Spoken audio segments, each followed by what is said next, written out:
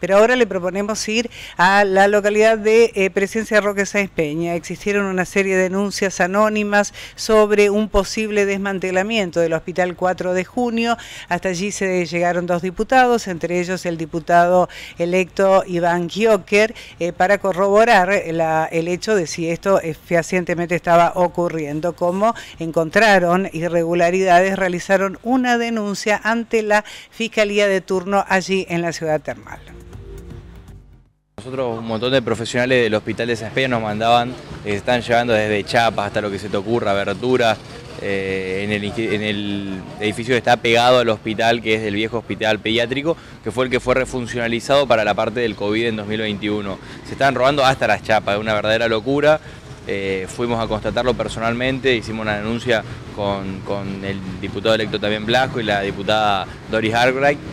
donde nosotros planteamos la investigación y que se vaya a fondo con esto, hablamos con la gente de investigaciones, esto es algo que ya lleva larga data, en algún momento se robaron aire acondicionados, computadoras y lo que se te ocurra, y entendemos que en un momento donde nuestra salud pública se está cayendo a pedazos, que no hay ni buprofenos eh, en los hospitales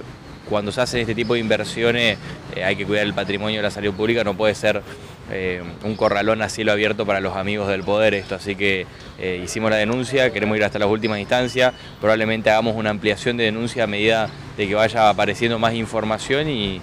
con esto la definición que tenemos con Leandro Esdero es que caiga quien caiga. Estamos con un montón de profesionales que se encontraban ahí después en otros momentos y nos contaron desde faltantes diarios de medicamentos y demás que van teniendo,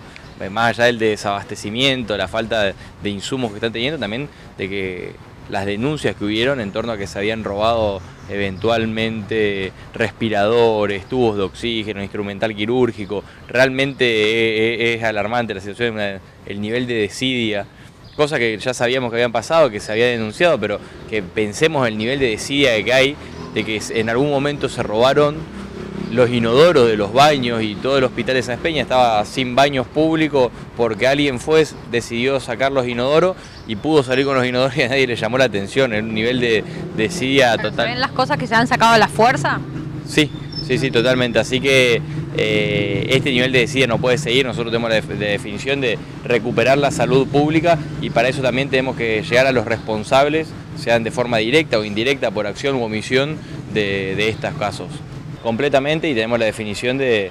parte del gobernador de darle todas las herramientas a la justicia y a las investigaciones para que se llegue hasta las últimas instancias con esto, porque entendemos que no son casos aislados